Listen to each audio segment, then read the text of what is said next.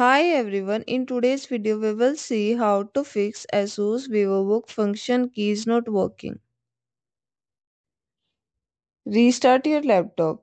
Many technical issues can be resolved simply by restarting your device.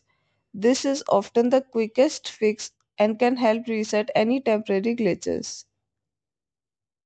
Check the keyboard settings.